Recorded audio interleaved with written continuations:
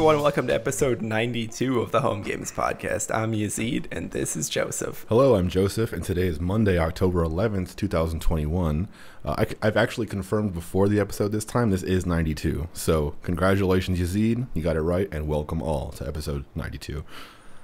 Uh, today we're going to be talking about. You. Have I got it wrong? No, you've never gotten it wrong. I'm just a moron and I keep forgetting. Oh, nice. Uh, so uh, today we're going to be talking about client side animations. I had some ideas basically about how we can improve the way that we do animations in home games. Um, so we will talk about more.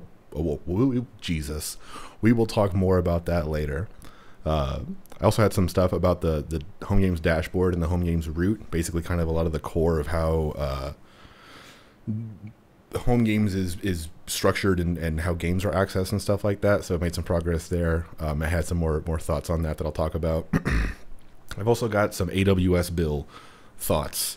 Uh, mostly that every time I get the AWS bill, I think, God damn, that's a very high number, and I'll fix that some, at some point. So, uh, I want to talk about doing that. Um, and then we have some emails that I want to go through, some some uh, from the customer support form or user support form on the website. Don't read them yet, easy. One of them is very hard to not read because it's all caps and shit. But uh, Yazeed also has some stuff with uh, Homegames it's Web. It's literally all caps and like no spaces. yeah, it's kind of intense, uh, but we'll get to that later. Did you want to talk about your topics or? Oh yeah, yeah. yeah. Basically, I continued on with the um, Homegames Web updates, and I just had some ranging from interesting things to some questions that I found while I was working on it. Sure. Yeah, that's uh we've mentioned it before, but that's some of the messiest code that I've written, so I I am not surprised that some of it is incomprehensible. Very little of it is incomprehensible. A lot of it is repetitious. I'll say that. yeah. Uh, my my main oh, oh. style is copying Sorry, and pasting. Finish, finish, what you're going to saying. I realized I forgot a note for myself. No, it's all good. While you um, while you write that note, because it was just a shitty joke that uh, I couldn't even get off right. So it's whatever. It's no problem. We'll just move move, move past it. Uh, client side animations is one of the, the, first things I had on my list, but I actually don't want to talk about that quite yet. Uh, I just want to talk about what I've been doing over the past couple weeks which is basically rewriting, continuing to rewrite stuff of uh, Squish, the game engine stuff, and restructuring Home Games Core around that um, rewrite. Uh, kind of the big milestone this past week was getting click events and all that kind of stuff listening again. Kind of uh, boring to talk about the implementation of it because it's really just rewriting code, which doesn't have a lot of uh, like content value. Um, I guess just like to highlight kind of general things that I've learned. is that I do basically what you said, which is just repetition. I'll just try something that works in the moment and then I'll just do it again, do it again, do it again instead of trying to build a model around it and kind of building it into the overall framework or the anything. I just kind of do it again and again in, in very loose and sometimes changing ways. So, uh, just kind of a, a thing for me to note about, you know, kind of learning about myself and how I need to do things better. But, uh, anyway, yeah, that code was shitty. It's becoming less shitty. I have click events working. I have the original dashboard working. I say original dashboard because I, I uh, think we're gonna change it at some point, and uh, whatever. We'll talk about that later. But the the home games dashboard, the thing that you select games from, where you click a game, you can you know kind of uh, uh browse, I guess, all the games that we have available. Uh, so that's working, but it doesn't react to anything. Like if you click on something, nothing happens. So uh, again, progress but that's basically where that rewrite stuff is. uh, I'll have a pull request, like a draft pull request for that. I was hoping to have it up by today. Totally uh, spaced on that, so I'll have it up in the next few days or so. Right on. Yeah, nice. Um, are you are you saying that you just noticed that you do your code repetitiously, or are you no You're not doing that with this current redesign? No, it's just um,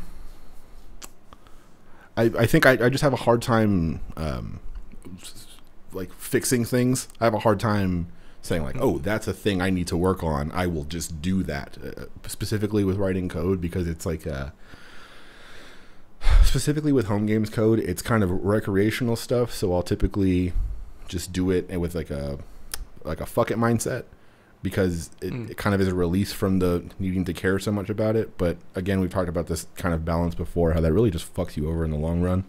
uh, just trying to think about the short term.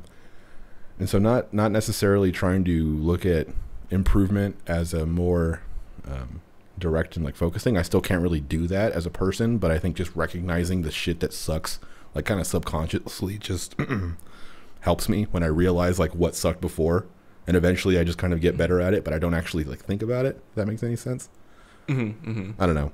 But yeah, I guess I'm just saying that seems to be the thing where I'm like, oh, at this point, I just added, uh, you know, some magic where I'm a, I'm a class and I'm gonna like in my constructor instantiate some other new thing, and I'm instantiating that thing and it needs access to my logic. So I'm just gonna say, you know, thing equals new thing or whatever, and then thing dot me is me.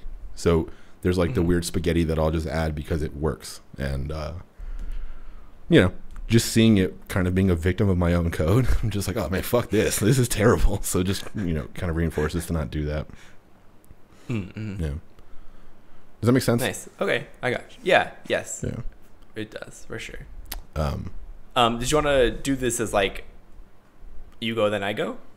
uh, sure. I mean, if you had anything to add to, or like kind of jump in if it makes sense at this point, I don't really know. No, yeah. I mean, it makes sense. I'm Yeah. I'm Go for it. Just I'm interested to see the draft when you get there. yeah, yeah. I think it'll just be the squish changes um, with, you know, kind of like the the early version of it, and it's it's not quite final specifically with the way that I handle scaling different layers. Um, uh, it's not super fun to talk about, but whatever. The, the the way that I kind of structured the code around passing scale parameters is not super super good yet. So there's like a rough version of something that works, but not quite uh, clearly yet. So anyway, I'll put that up at some point. Mm-hmm. I got you. I got you. Um, while you're working on that, uh, I'll go ahead and say it. I got a new job. Oh shit! So Talk about that. fun stuff. Yeah. Nice. yeah, we never mentioned it. I got a new job, which is kind of lit. Um, but at new job, uh, we're using this library, this npm package called Class Transformer. Have you seen or used it at all? No, but can you say that on a podcast? that you're using some technology? I don't know. Yeah, All right. I, it's just like a public npm package. yeah, but it's like your usage of it is might be. Anyway, go ahead. Who's gonna know? Who's gonna Yeah, know? I don't think they know about this podcast. I don't think so. Nice. All right, anyway, go ahead. I, I, I've not heard of that. No. Okay, so so I'll I'll give you the use case for it. So let's say you hit your database, right? And you got an array of objects out of that database, right? Users, for example. Okay. Yeah. Sure. Um, those users aren't of the user class. They're basically just like JavaScript objects, right? Because there's a difference, like a JavaScript class and JavaScript object. Mm-hmm. Class Transformer takes those objects and transforms them into the class version. It's like literally kind of what we do Yeah, with like Squish, Squish. where we, we compress it, we lose everything. When we uncompress it, we still have lost everything. We need to com- we need to like put it into like the game node class more or less, Mm-hmm, right? So it, it has kind of a different paradigm to it than how we did or how Squish works, really. And it uses like decorator functions. I don't know if you've worked with those either. Not in JavaScript. No. Mm, okay. So basically, it's just a nice way of like transforming the data or like transforming the data in a way that's um, abstracted, if that makes sense. Like it's a way of abstracting out the like hardcore, like under the hood, really what it's doing is like taking the properties of that object and mapping it into an inst- like instantiating a class of that of that of the specified type. But the way you do it isn't as like you know like prop like you know like um variables like or like uh properties like a b and c map to class instance variables of like a b c mm-hmm. right? Like it, it, it's just a different way of doing that. So I, it so far it's been it's made sense and i feel like it parts of it might help us with squish and unsquishing. So before we continue on you might want to take a peeky or not before we continue on but like you may want to take a peeky at that like at least like their uh like readme or something and just see if you it's something you want to look into a little bit more So- not saying like using it necessarily Yeah. but maybe like taking a little bit out of it like the decorating and stuff like that So I guess I'm not super clear. Like when you say decorators, I guess I would compare it to something that I'm used to, which is in Python. Where in Python you can say, this is like a sub function of this function. So like this thing wraps this function call, this thing wraps this function call. So it's kind of like a nesting doll of, of things. At least is what I remember it being. Um, mm-hmm. And it kind of just goes sequentially up through this like list of, of things that are calling it. So I guess what is the actual difference in the interface compared to what we have in like Squish that this other thing would give us? Um, so you know how in Squish, basically, like you know, in Squish we have that big map where it's talking about how like to squish and then how to unsquish something. Yeah, like for this property, it's like this type you, maps like. Yeah. Mm-hmm, mm-hmm. Mm-hmm. Basically, with the way that the dec- decorators work, I think we could instead of having like a big object where we do that, we instead build like a set of decorator functions, and then we can just decorate on as we're like building the or building or compressing depending on which way we're going. What, I don't know for sure if that would work because I mean I haven't tried it. What does I've it only mean had like a decorate? week of working with it. Hmm? What does it mean to decorate? Basically, it just means to apply a function onto something. So then it's. I guess I'm still not like. Okay, today I have thing equals you know new square, thing mm-hmm. dot coordinates are equal to you know whatever this the position of the square. Uh, mm-hmm when squish is called it something is going through all the properties and it says okay i see coordinates and here's how i convert coordinates to and here's how i convert coordinates from so like what would mm-hmm. be the difference in the, the actual code writing for me if i were to do something different um so in in the code writing right so like when we work when we convert this to TypeScript, for example, right, we still need to have an interface for it where we like lay out all the properties that are available and what types they're tied to, right? I guess yeah, but like in a world without TypeScript, why do why do we need it? In a world without TypeScript, it I think it wouldn't be as great because you would still you basically like when you when we do convert it to TypeScript, it would make it better. Like it it would make it less verbose in TypeScript because we have to build the interface anyway. Basically, have to like build like the type definition anyway for all these things. Without that, though, it's not going to add that much more to us, right?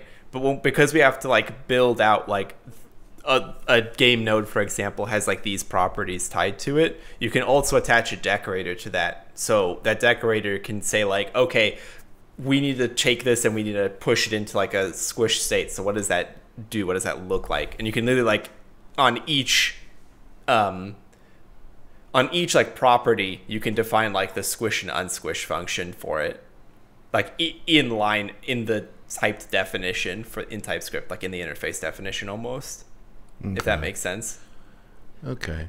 Yeah, I guess like I'm starting to see it like why it would make sense there, but it seems like we're also saying in a world where we create this problem where we go further away from like functional programming or whatever like mm-hmm. just like whatever everything is like not going away from functional programming but whatever the thing is that we have right now where it's just something and it calls an object that just has functions and then those are just calling other functions and blah, blah, blah, like it's all loose and it's all just things talking to each other and if we wanted to say like, no, this is a defined interface, and this thing kind of has a contract on how to talk to this, and this is respond like, uh, and then you want to have another thing on top that makes it kind of easier to like to understand the structure that you like put on yourself. I guess I'm just like having a hard time seeing the like overall point.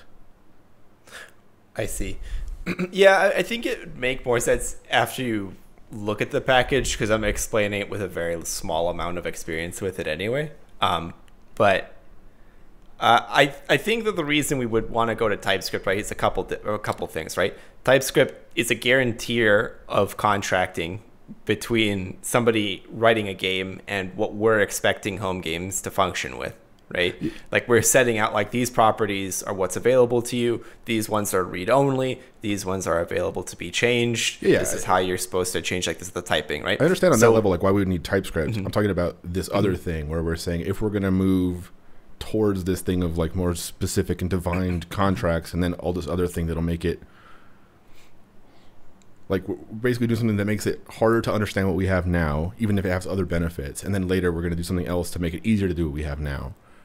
It's like it, ultimately it's all very simple code, and if I just say this property is this function, and I have to have nothing else, and it's just clean and simple, and then yeah, sure we can have this other kind of wrapper that makes it easier for developers and stuff, but then we're adding another thing on top just because like like why, you know?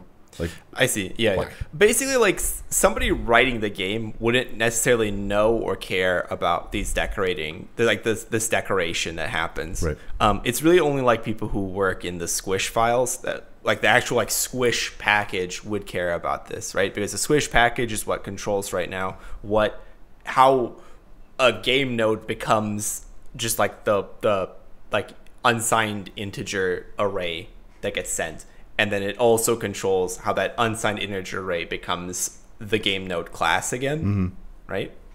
So that right like that transformation right there is what this class like that's what like that's what that npm package like really uses like is really like used for. Not in uh, unsigned it's mostly used for like json into class right? Yeah. but i mean it's like this similar concept i don't know if this would even be a good idea Yeah. I, it's just something that I, I saw and i was like oh that's interesting it's like a different way of doing what we're doing with squishing and unsquishing so it might be something to look into. Um, the thing I would say that I think would be nicer for it is you don't need to know.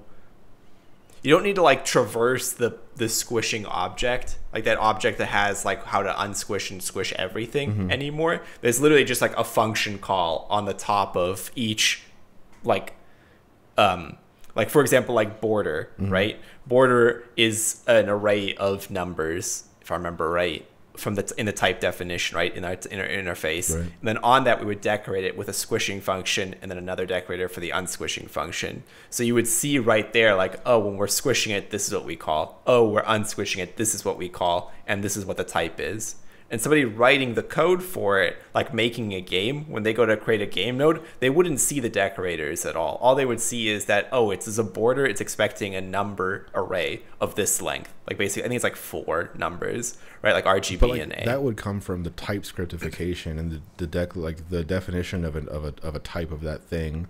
But this other Mm-hmm. thing would be decorators and whatever. I guess I'm just I'm like kind of being a dick because I'm I'm super strong against like adding things without like a clear intent as to why.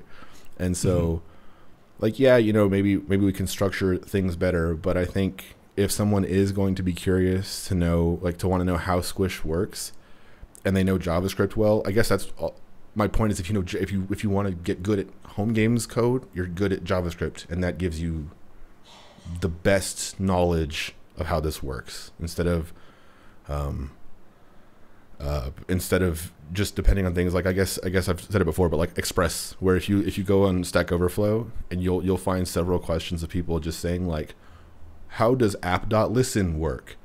And it's because they like they lack the fundamental understanding of how JavaScript works. They just know that Express is this thing that they have to say require Express, and then I say this, and then I just have a web server. And if I wanted to go and learn how Express works, I, I would probably die reading Express code because it is just like so crazy or whatever, mm-hmm. and I want to avoid those kinds of hurdles. So like yeah, I guess this thing sounds useful, like to go and learn about how someone who knows what they're doing did this kind of stuff. But I guess like just adding. oh, the thing- decorators are in Node, like they're core to Node. Well, I mean, it's still a f- npm package. Like it's still No, no, someone no. else's code. Class transformer is the package, but it uses decorators. But a decorator itself is just in Node.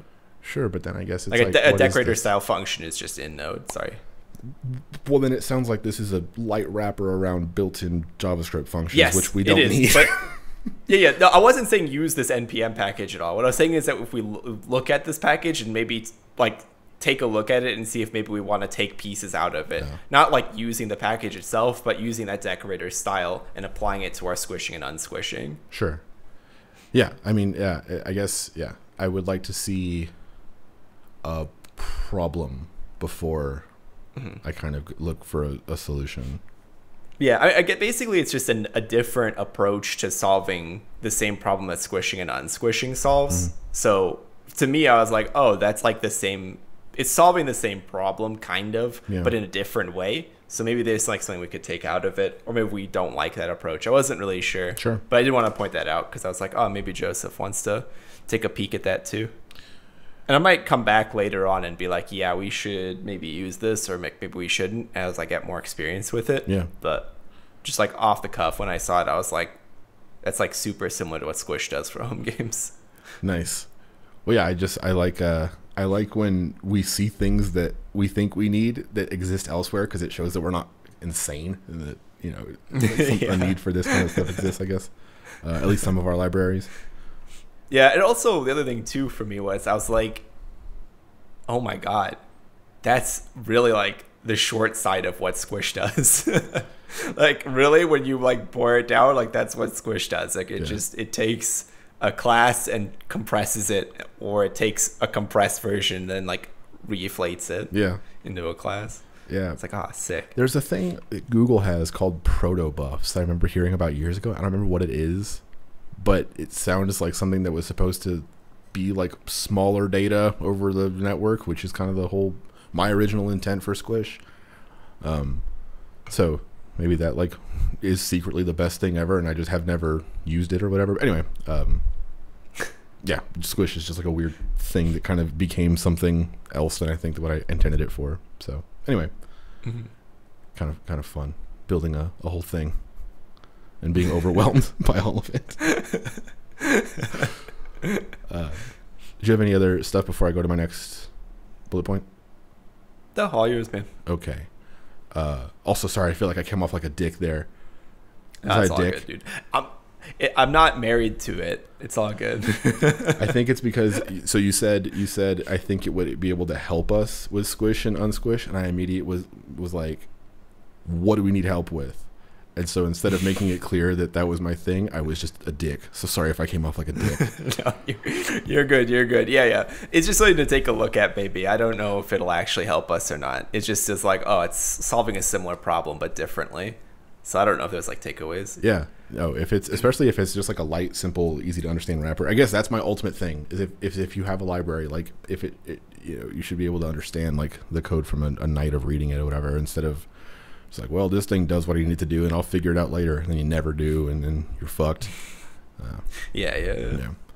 Anyway, uh, I had a, I had a thing about client side animation that I will talk about now because it's more kind of deep home game stuff, or not so deep, I guess. Um, so anyway, I was thinking I, when I originally did animations, I was thinking uh, we can just kind of do it all on the server side, where basically each frame of an animation is a new state, and that new state is broadcast out to all the listeners. Everybody sees a new frame of the animation.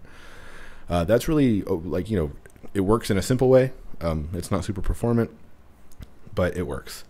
Uh, but in order to ever have like a truly smooth animation, and I was really thinking about this because the new iPhones have 120 hertz screens, really fucking nice. So uh, fast animations and like super fluid animations are the best thing that phones do. They're like so pretty. And, anyway, uh, I love that that kind of stuff, and I want to be able to support something that looks smooth and nice and good in our animations. And as long as we do them on the server, that just won't be possible. You'll never have 120 FPS animation coming from 120 uh, packets coming over in a second. Like it's just it's it's not gonna happen. Um, or maybe it will, and I'm you know like regret those words in five years when we all have like you know whatever supercomputers and whatever. Anyway, um, Quantum internet. yeah. Um, so I was thinking we should do something with animations where we basically encode them in some sort of uh, format that can be parsed by a client, and then a client can basically know how to perform an animation. Uh, basically, it's like instructions on moving from this state to this state. You should do like this color gradient over this set of time, and you should move this thing from to from here to here at this angle. You know, what I mean? like some sort of Mm. way to provide those instructions over the over the network as opposed to doing the frame and then sending it It's over. like how SVG works. uh, uh, I don't know how SVG animate like are, are there animations like proper transitions and that kind of stuff Mhm. in natively supported in SVG I believe so. because I believe so. okay because I don't know how, I, I imagine that would be like C- CSS animations on top of an SVG th- I don't actually know how it would go.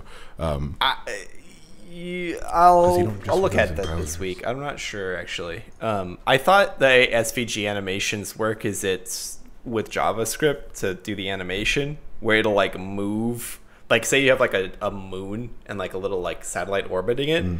it'll like I think it's either CSS or JavaScript will like move one of the pieces around in like a circle.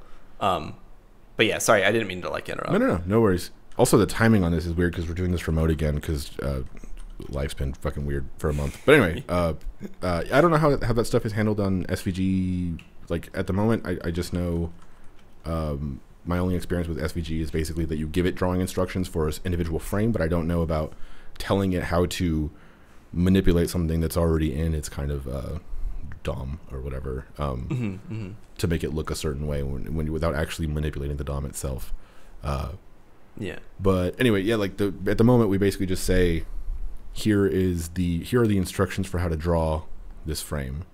Um, and so yeah, like I said, at every point during the animation, we say here's the instructions for how to draw this frame, and the frame is basically like me moving my arm from here to here to here to here to here every single time it's a new thing, um, as opposed to saying you're gonna be here and your end state is going to be here and i want you to just smoothly do this right? Because this thing is predictable. Like we can't uh we can't For people who are listening in audio Oh, yeah, only, Joseph had his hand at the 12 o'clock and moved to the 3 o'clock. uh, Sorry, continue. uh anyway yeah basically we just need some way to, to, to encode that data and kind of fuck with it and see if it's a good idea to do it like that or a bad idea to do it like that and, and that kind of stuff so i was thinking it'd be kind of a cool project to give to you if you're interested in, in figuring that out uh, Mhm. basically I, I think it should work like our assets do where our assets are these kind of blobs of, of data that we just have um, you know we basically fed from the network from from the actual internet and save to disk uh, and then we send those over at the start of the game we send like an asset bundle and it's just all these different named assets like key to value key to value of name and blob and then later on those names are referenced and then the blobs are just kind of painted on screen or played the, the sound or whatever um, so if we have that for animations where a thing says, hey, here's my floopy doop animation. So later on when I hit the X key, do a floopy doop and then make my arms go like this or whatever. And so the client can just know how to do that and play it smoothly. Um, it might be a terrible idea. I don't actually know, but I think it'd be cool to look into. I, uh, eh, you know how Flash, the old animation thing, had a security problem? Hmm. I think that that was part of what the security problem with Flash was, is that you could encode, because what you're basically asking to do is to pass along Java and script instructions, presumably, No. or CSS instructions or something, to like slowly move the animation through its fate. No, it's like Right. I'm saying like a proprietary, not proprietary, like some sort of just a, the same way that Squish is like a custom way of just giving data, not functions, but the output of functions. Like, uh, the the animation is just instructions. It's not the actual implementation of the instructions. It's kind of, uh, it's it's you know what I mean. It's like a different thing. It's not actual execution. It's instructions for execution. You can't actually inject code this way.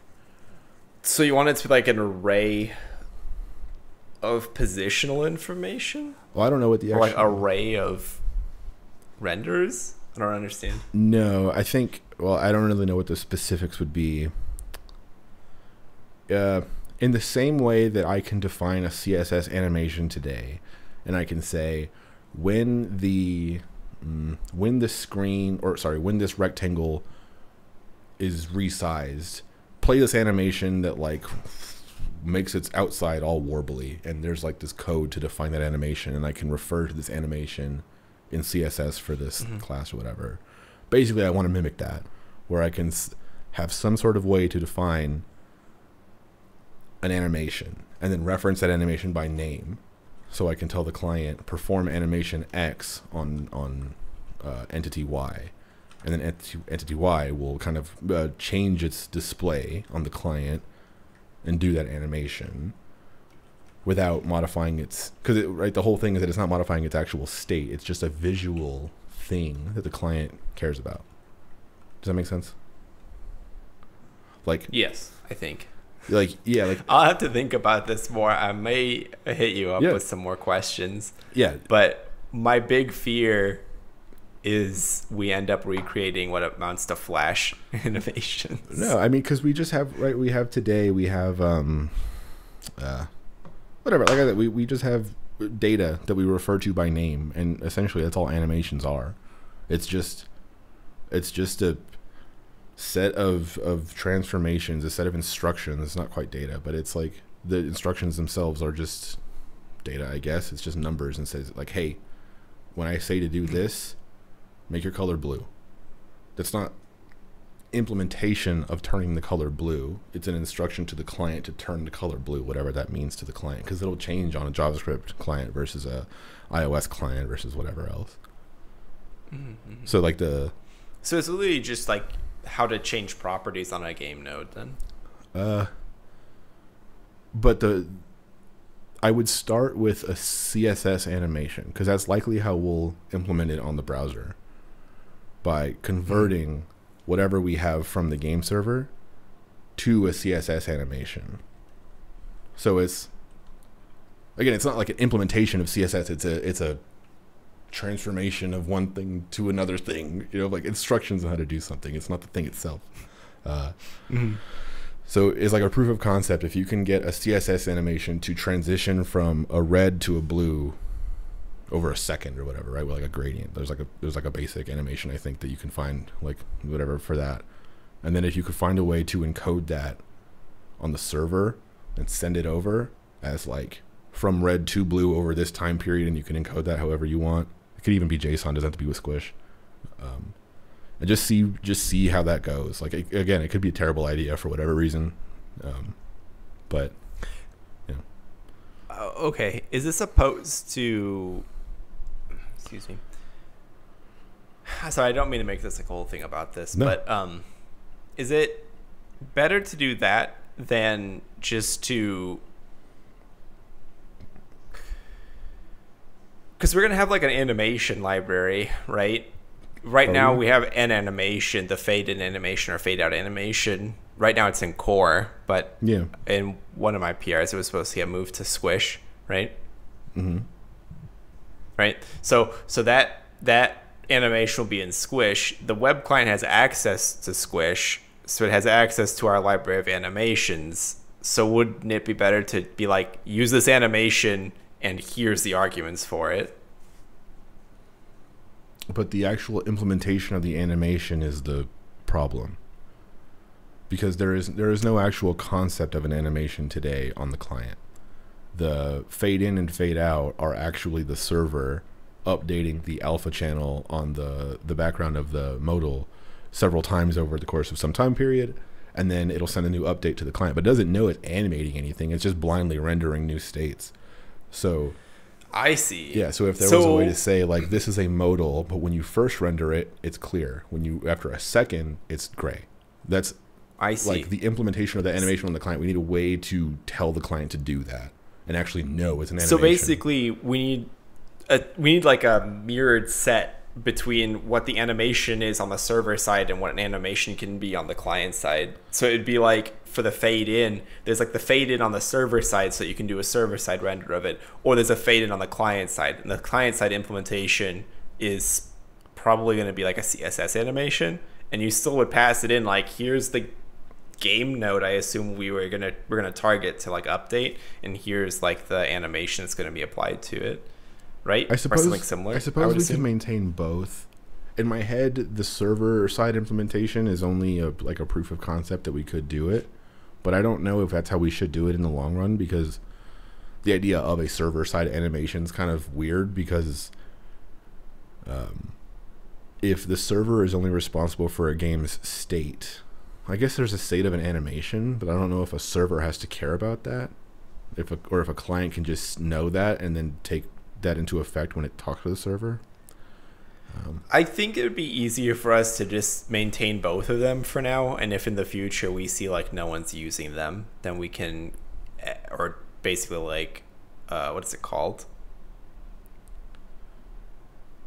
deprecate, I want to use say defecate, but it's not the word. deprecate, deprecate. like- Deprecate. but they're, but they're, they're like they're fundamentally different things. I guess it seems difficult to maintain them both because the like I said the the fade in animation utility right now is a set interval that's just doing some math on some numbers and then just uh, transforming the numbers at different points uh, to different whatever uh, because based on the rate that you told it that you want the animation to happen at so uh, that implementation is totally different from like telling a client to transition colors or transition uh, a point to this other thing or this make this line curvy or whatever the hell. Um, yeah, I, I guess I guess that's all I'm saying is that C- CSS on our client today is the thing that we would actually use to do implementation in the same way that Mhm. um, you know we use canvas fill and uh, b- border radius like we use canvas things on the client that we have today and the game server sends instructions on how to do that on a canvas but one like on some other client it might not be a canvas but it's the same instructions just however you do it you can do it over there so Mhm. in the same way of we draw on a canvas at the moment but it could be anything we just need a we do css animations at the moment but it could be anything Mhm. does that make sense Okay, I see. So back to my, or I guess like the crux of my question then, would it be better then to just build that into Squish since Web has access to that, and so we have like an animation library, and basically you just pass in like, I want to use this animation. Here's the arguments to that animation, and then the client just applies it via that like pre-built animation set. The only downside is people couldn't custom build their own animations, but that might be a good thing. like I guess. Uh, I guess I don't know what that would look like. I, I, I think in the long run it makes sense to be in Squish because it is kind of a game engine thing. Like it'll, it'll exist outside of Homegames web because it's the idea of animations are client agnostic. I guess. So, it, it could go in Homegames core or Squish, uh, because ideally at the end, the client is doing something to just rip it out and then call like basically do something transformation on on the client side, which would be uh, I don't see that existing on the server, but whatever. We'll we'll see how it goes. I don't actually know what it looks like. Okay. Okay, okay. Yeah. Give me a second to write down some notes. Uh, while you're writing down notes, I'll just briefly mention that my AWS bill is insane, and a lot of it is uh, AWS services. Probably the biggest one is uh, Elasticsearch, which is like $110 a month, which is fucking ridiculous. Um, How much a month? $110 a month. That's a lot of money, dog. that's not. Yeah. Anyway, there's several uh, line items on my bill every month, and that's one of them. Uh, so I need to go through and reduce my cost just because. Uh, yeah, I could. Yeah, fuck. I don't. I don't want to pay that much money to Amazon for things that we're really not using for the most part. So I'm just trying to to optimize there, and I'll, I'll report back. I'll give you a percentage of how much I can decrease, um, and hopefully it's like sixty or sixty or more. Nice. Yeah. Um, also, I was gonna say like there are some services like the Home Dome, right, that we aren't using yet that you could probably tear down if you haven't already, The- or not tear down, but like just not reuse right now since we don't use it right now. So like Home Dome cost me seven dollars a month. Elasticsearch cluster, the Elasticsearch cluster that we have is 110. That's like the cheapest shit that we can get from them.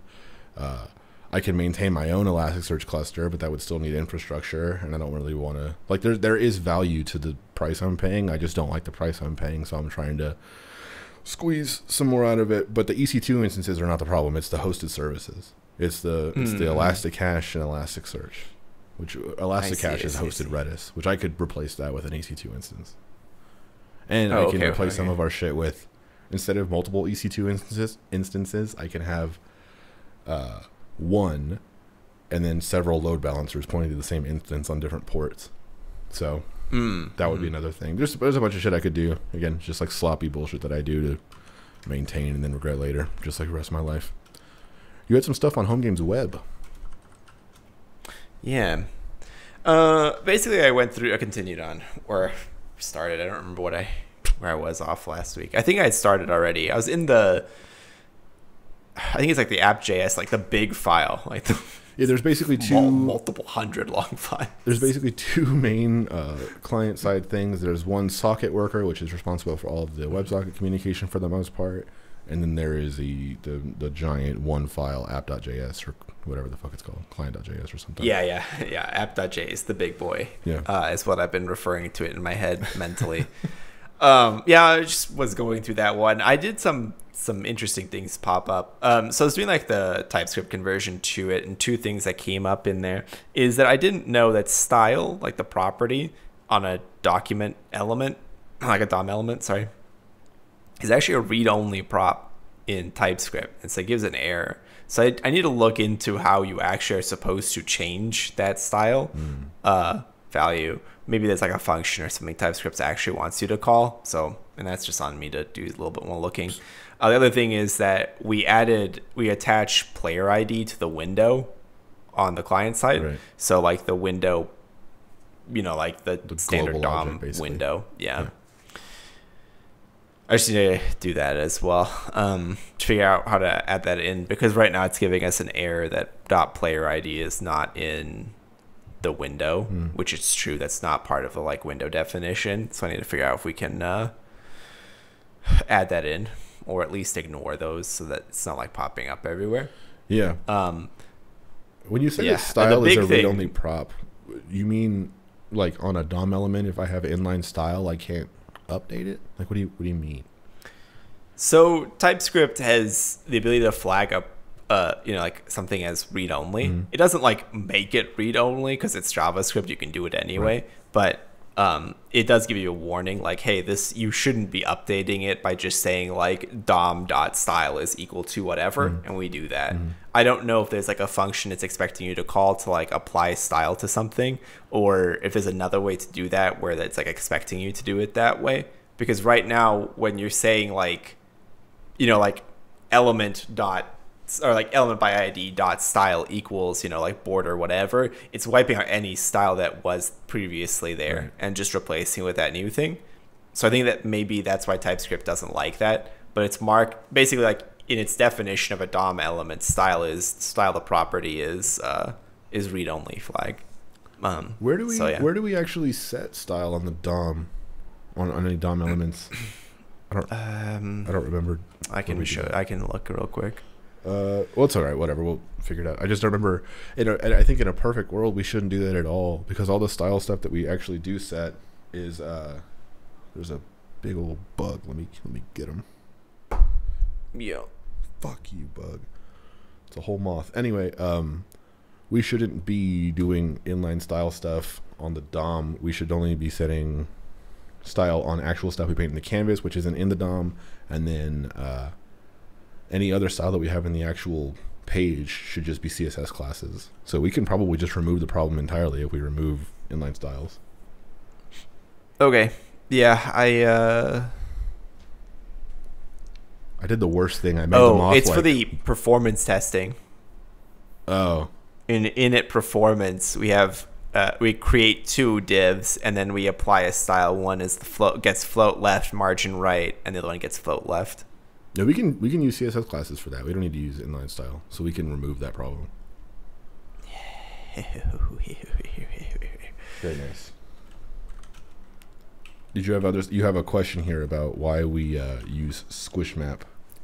Yeah, sorry. Um, I was gonna get to that one. Yeah. So while I was looking at this one, we use uh, a very specific version of Squish, which is six three three. Why? Because Why that one in particular? Because that was the latest version when I wrote that. so I can change that to latest. Uh, latest, uh, if it works still, then yeah. But I mean, we're Okay, we're ripping all that stuff out, so like, you know, it doesn't really matter. The existing Okay. Squish Map stuff will be redone because all these like 0633 and the version that like the latest as of right now are are going to be gone in a few months. So Yeah, yeah. you can do whatever. Well, the reason I was kind of asking is because the socket worker on message, like one of the very first things it does is grab the squish version that we're supposed to be working with, Mhm. and then Set pulls out Map. The uns like it gets like squish unsquish and colors out of that out of like the version of squish. So I was like, uh, why are we setting a default if the very first thing we do on a message is to set that anyway? Uh, I think it's because there's some reason, but I forget what it is, and it might not even be a thing anymore. Uh, so we might not even have to in the future. But I remember there was a reason. I think it's because I needed to instantiate a game node or something, something dumb that that was basically like a Squish thing without an actual version of Squish guaranteed. So it was just a dumb thing. I could probably remove it. I'll look into it though. okay, yeah, I, w- I just wasn't sure what it it where it what it why, but that's where I'm at right now. Is I'm on the on message, See, so I'm still I still need to get through. Uh, that's line 195. I need to get through line 1001. imagine writing line 1001 and being like, I don't even know what line 900 did. it's a real, real tragedy. All that code is like the, the true meaning is lost to time. It's like fucking hieroglyphics to me now, and I wrote it. Yeah, one of the big things I want to do because I was looking through this, it's a lot of it's repetitious. So I was hoping I can build out some like a little helper file or something, so we can just put helpers in there and then call stuff or, or Yeah. something to cut down the amount of lines that are in this file, or at least the amount of words in the of letters in this file or characters, however you call it. One of the, you might want to uh, hold off on some of that stuff until you see the typed s- squish stuff that I have now, because a lot of the the bloated code on the client is basically given the properties on this object that I got over the network. What can I infer about its type, uh, and then kind of rendering based off of those properties existing as opposed to it actually being of a type. Uh, it's pretty shitty. So now when the client gets a thing, it's just like, oh, this is a this is a shape, this is a whatever. So there's certain Mhm. rendering uh, behavior that is different for different things, and it's easier to to figure that out now without having to infer it. So we can kind of go over that at some point, I guess. But yeah, might want to. Okay, make your life better. Because because the other thing too that I ran into was I don't know how we would import in uh, the versions of Squish the way that TypeScript likes you to do that with the way that the Squish map is currently. well, I mean, it, it'll always be the case that that the client has a list of dependencies, uh, like like named squish versions it can pull from Mhm. that will be defined like before you run it, um, and then the game will have a potentially different list of the same thing, and then communicate which version it's going to give you. So like it might, it, it definitely sounds like it goes against TypeScript stuff because it's it's hey these are three named functions and they could do totally different stuff at totally like any arbitrary time based off of a network request so yeah you know that might that might be that might be tricky so Yeah, it'll be a little interesting. I think maybe we would need a helper function and maybe something else. Um, but yeah, it'll be uh, it'll be fun to see yeah at any rate. what a pain in the ass all of this is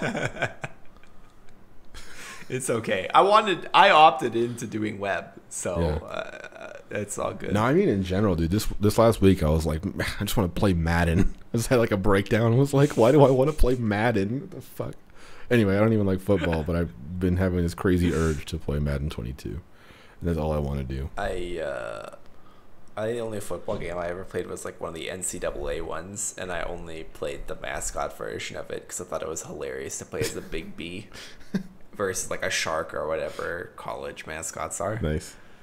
In NFL Street 2, you could play as Xzibit, so that's really the best football game ever made. Aw, who? Xzibit, the Pimp My Ride guy, the rapper. Oh, He's a What? Musician. Yeah, yeah. We yeah, build, yeah, we stack, yeah, we multiply. Anyway, I have nothing else on my home games notes. Sorry, I was a dick again. I keep thinking about it.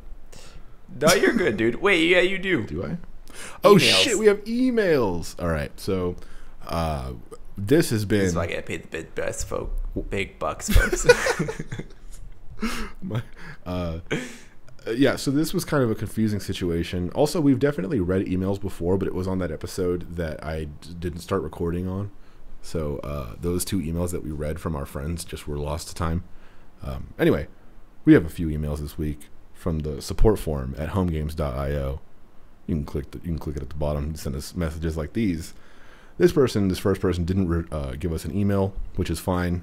Um, but the message was, "Hello, if all caps from this point, Homegames is a free app. Why is this the second month you charged me? I need you." And then it's no longer in all caps to cancel this subscription. We're back to all caps immediately. You should have a phone number available. Guess that's too much work. Thank you for your anticipated cooperation. Oh, they left their name is D Filman. Um, we I don't this person's confused. We I don't know how they found us, but it's pretty funny to me that they sent us this message. Uh, we literally have never charged anyone for money, so this person got scammed from. What if that's the thing? What if we're like secretly so popular we don't even know it, but there's people out there who are pretending to be us scamming people? You know?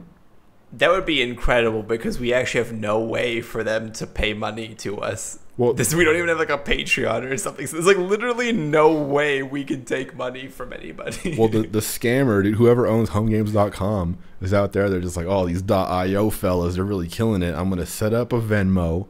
I'm going to tell them to pay me on Venmo for more hot programming content. And I'm going to take all the billions for myself, you know. And I feel like that's what this, uh, that's what the situation is, and I feel bad for D Filman for being a victim. I also feel bad for D Filman for being a victim, but some part of me was trying to figure out if D Filman was like a pseudonym for something stupid. Yeah, if it was like a huge like ass or something. Or whatever. Yeah. Yeah, yeah, like yeah. but D Filman, I feel like isn't, and some poor soul found our website and then fill that email out. Uh, but they did say that they guess it's too much work to add a phone number, and they're not wrong because I don't want a phone call. Yeah, I don't answer my phone ever, so that's a terrible idea. Yeah. D. Also, Phil Phil Demon would have been a way be- like a good fake name. So the fact that they didn't like that they stuck with D Philman, they weren't even trying to no, be a dick. Yeah. So whatever.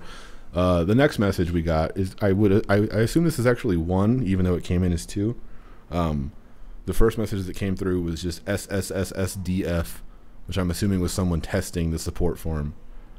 Uh, and then immediately after, I got another message, or we got another message, um, where they put their email address as the message, but not the email address form. So, not super clear on what this is, but I'm imagining this person from Sweden, which is what this uh, email address is. I'm not going to read it on the thing. Uh, sent us SSS SDF. So shout out to you from Sweden. Thank you for that. There's no way that's a real email address. Uh, I looked There's up. no way. I looked up the the the word, the main word, and that is that is a real thing. So who knows? I know that I assumed that that part was real, but the actual like email address, that's crazy, dude. Well, yeah, I don't know, but Well, that was cool. We have a fan in Sweden, presumably, and some poor soul. One time I also got a message I forgot to read on the thing, but the person was basically like really genuinely interested in what we were doing, but they were like, "It's not super clear what it is. Can you just describe it to me?" And I did, and it, it was still too many words, so I think I just turned them off forever. But that was another one I forgot to mention. I feel like I just should mention. Uh, over time, we'll clarify. This message you after you drink a pot of coffee, and you were like, "Let me tell you about home." I'm such a yeah, because it was like I, I sat there and I was like, okay, I'll just write a short, quick, three three sentences max about what this is and whatever. And I ended up with like two paragraphs. I looked at it over at the end, and I was like, well, more information's good information. Sent it off. Never got a response. Oh, we literally just scared somebody away. All right. No take Joseph fishing is what I learned from this.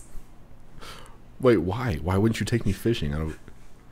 Scare the fish away. Ah, okay. It would tell it too much about my passion for clean interfaces. I think you and I would do poorly on a fishing trip. You're supposed to be quiet on a fishing trip, and I get loud and stupid when I'm with you. Yeah. you get loud and I get stupid. no, no, you you're you're always smart. Uh, Um, well, thank you, but that's untrue. but people should should send us more emails. yeah, that's true. Uh, Also, if you're okay with it, putting a fake name and your real name. I think is the way to go, so we can at least get a good laugh out of the fake name. Yeah. Or pseudonym. put like a really shitty message and like that's super mean and all that, and then put your friend's email address. It'll be super funny.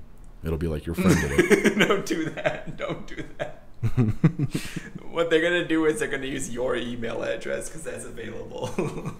Well, maybe they'll trick me and I'll somehow read a message from my own sabotaging self. You know, trying to trying to throw a wrench in the podcast, yeah. talking about You'll huge ass. self sabotage. Yeah. All right. Anything else? um. Do you like slaw bunnies or snow bunnies? What's a slaw bunny?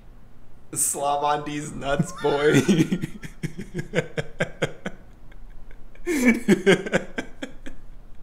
This fucking guy.